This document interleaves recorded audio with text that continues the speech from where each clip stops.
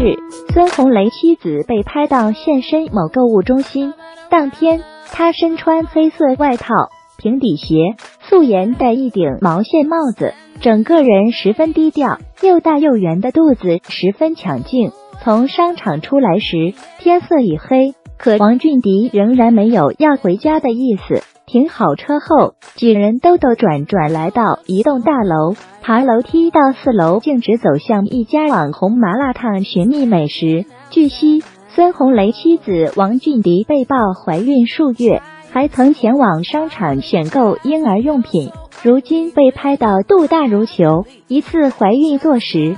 不过，孙红雷夫妇均未曾公开承认。一九七零年，孙红雷出生于哈尔滨市。学生时代的孙红雷比较调皮，喜欢跳霹雳舞。上中学时，他常常晚上逃课去哈尔滨青年宫跳舞。一九八八年，孙红雷到重庆参加全国第二届霹雳舞大赛，获得了二等奖。获奖后，孙红雷被中国歌剧舞剧院发掘，进入中国霹雳舞明星艺术团。